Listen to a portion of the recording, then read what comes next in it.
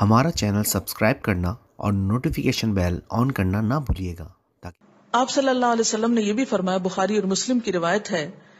قال رسول اللہ صلی اللہ علیہ وسلم، الرؤیا الصالحہ جزء من ستت و اربعین جزء من النبوہ کہ سچا خواب نبوت کا چھیالیسواں حصہ ہے۔ یعنی جیسے انبیاء علیہ السلام کو وہی کے ذریعے خبریں دی جاتی ہیں۔ ایسے ہی عام لوگوں کو خواب کے ذریعے کچھ یوں کہہ لیں غیب کی خبریں دے دی جاتی فیوچر کی خبریں دے دی جاتی جیسے دوسری روایتوں میں آتا ہے کہ نیک روش حلم اور میانہ روی نبوت کے کاموں میں سے ہے۔ تو ایسے ہی یہ۔ اب اس کا یہ مطلب نہیں کہ جو حلیم انسان ہے یا نیک شخص ہے وہ نبی ہو گیا، نہیں۔ نبوت اس کو نہیں ملی، لیکن اس کا عکس یا اس کا جو مزاج ہے ویسا ہی ہے۔ اب یہ ہے کہ اللہ تعالیٰ یہ خواب کیوں دکھاتا ہے بندوں کو؟ اور یہ ایک ایسا عمل ہے کہ جو انسان جس پہ قابو نہیں پا سکتا، جو انسانی ڈسکوری سے باہر ہے کہ ایسا کیوں ہوا؟ آپ دیکھیں کہ انسان دو چیزوں کا مجموعہ ہے، ایک اس کا جسم ہے اور ایک اس کی روح ہے۔ جہاں یہ دونوں آپس میں ایک دوسرے سے موافقت کرتے ہیں، ایک دوسرے کے ساتھ کوآڈینیٹ کر رہے ہیں، وہاں یہ ایک دوسرے سے کشمکش بھی کرتے ہیں۔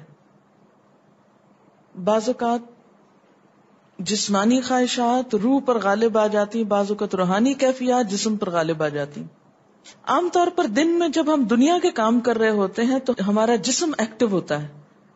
اور اس کا نتیجہ کیا ہوتا ہے کہ روح کی جو کار فرمائی ہیں وہ ذرا لو ہو جاتی۔ رات کو جب ہم سوتے ہیں اور جسم ہمارا بالکل بے حص ہو جاتا ہے، تو پھر روح جو ہے وہ ابھر کر آتی ہے۔ اس کی کار فرمائی بڑھتی ہے۔ وہ زیادہ ایکٹیو ہو جاتی۔ پھر آپ کو قرآن کی وہ آیت بھی یاد ہوگی کہ جس میں اللہ تعالیٰ فرماتے ہیں کہ جب انسان سوتا ہے تو ہم اس کی ایک روح لے لیتے ہیں۔ جس کو زندگی دینی ہوتی ہے وہ واپس لوٹا دیتے ہیں، ورنہ جو دوسری باقی ہوتی ہے وہ بھی لے لیتے ہیں۔ اب یہ جو روح نکلتی ہے نا ایک ہمارے جسم سے، تو یوں لگتا ہے کہ جیسے وہ مختلف جگہوں پہ وانڈر کرتی یعنی گھومتی پھرتی۔ اور بعض اوقات دور دراز پہنچ کے مثلا کسی مردے سے جا ملاقات کرتی۔ کیونکہ روح تو ایک لطیف چیز ہے نا۔ جب ماں کے پیٹ میں بچے کے اندر آتی ہے تو کوئی پتہ نہیں چلتا، جب نکل جاتی تو کوئی پتہ نہیں چلتا۔ اسی طرح روح ان دیواروں کے پار بھی چلی جاتی ہے۔ قرآن پاک میں آتا نا کہ اینما تکون یدرککم الموت ولو کنتم فی بروج مشیدہ۔ یعنی اگر بالکل ساؤنڈ پروف اور ہوا پروف جگہ پر بھی کوئی چیز رکھ دی جائے تو کیا ہوگا؟ روح وہاں سے بھی نکل جائے گی۔ یعنی روح کے لیے یہ مادی چیزیں رکاوٹ نہیں ہے اب آپ دیکھیں جو لوگ مر جاتے ہیں، بعض اوقات آپ کی ان سے ملاقات ہوتی اور آپ کو یوں لگتا ہے جیسے آپ ان کو چھو کر آئے اور ایسا ممکن ہے کہ وہ جو سوتے وقت ایک روح آپ کی نکلی، وہ ٹریول کرتے کرتے اس مقام پہ جا پہنچی جہاں وہ مردہ روح تھی۔ اور اس نے اس سے جا کر باتیں بھی کی، کچھ میسج بھی لیے، کچھ اور بھی۔ تو اس سارے کو ہم واضح طور پر نہ جان سکتے ہیں اس کی حقیقت نہ سمجھ سکتے ہیں، لیکن بعض خوابوں کو انٹرپریٹ کرنے میں یہ چیز آپ کو مدد دے گی۔ کہ ایسا کس طرح پاسبل ہے؟ آپ اپنے بستر پر لیٹے ہوئے اور روحانی طور پر آپ خواب میں آپ کہیں اور پہنچے ہوئے بعض اوقات آپ دیکھتے ہیں کہ میت آپ کو کوئی چیز دے رہی ہے۔ میت رو رہی ہے، میت خوش ہے، آپ اس کو دیکھتے ہیں، وہ بڑے باغ میں بیٹھی ہوئی ہے۔ یہ آپ نے کہاں سے دیکھ لیا؟ آپ تو بستر پہ لیٹے ہوئے تھے۔ تو وہ جو ایک شعور سوتے وقت نکل جاتا ہے، جسم سے الگ ہو جاتا ہے وہ ٹریول کر رہا ہوتا ہے ایک طرح سے۔ اور وہ ایسی جگہوں پر اللہ کے عزم سے ہی پہنچ جاتا ہے اور اس کو وہاں کی معلومات مل جاتی ہیں۔ اچھا آپ کو یاد ہوگا وہ قصہ۔ جو شہیدوں کا واقعہ میں نے آپ کو سنایا تھا، عراق میں جو صحابہ کرام کی قبروں میں سے ان کو نکال کر دوسری جگہ پر دفن کیا گیا۔ اب نے دیکھا کہ مستقل کنٹینیوسلی تین دن خواب آیا ایک شخص جب اس نے اگنور کیا تو بادشاہ وقت کو خواب آیا مفتی اعظم کو خواب ہے اور مسلسل خواب میں وہ اپنا میسج کنوے کر رہے ہیں کہ ہمیں وہاں سے نکالو، ہماری قبروں میں پانی آ گیا۔ اور یہ بالکل سچا واقعہ ہوا۔ دنیا نے جس کا مشاہدہ بھی کیا، تو پھر آپ اس کو کیسے انٹرپریٹ کریں گے؟ وہ شہدا کہاں ملے تھے؟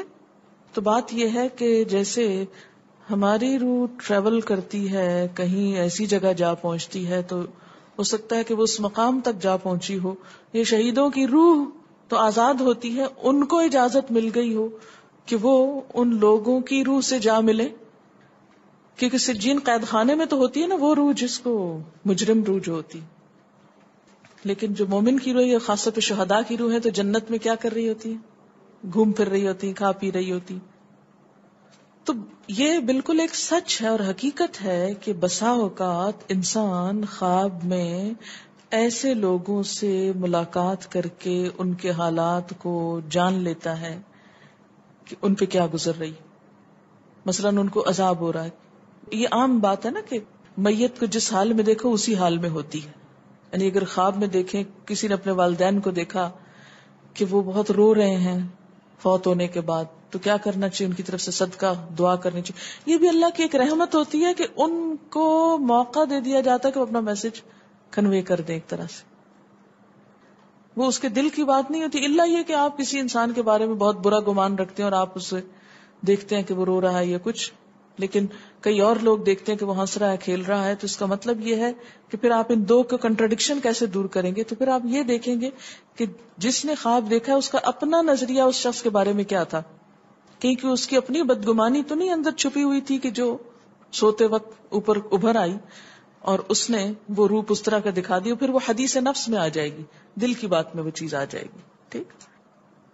تو نبوت کا جیسے انبیاء علیہ السلام کو کچھ غیب کی خبریں دے دی جاتی تھی، اسی طرح عام انسانوں کو خواب کے ذریعے کچھ غیب کی خبریں دے دی جاتی ہیں، لیکن کسی بھی خواب کے سچا ہونے کی آپ کوئی دلیل نہیں رکھتے ایس سچ واضح بات یہ نہیں کہہ سکتے کہ میں نے جو خواب دیکھا وہ بالکل سچ ہو جائے گا، یہ آپ دعویٰ نہیں کر سکتے۔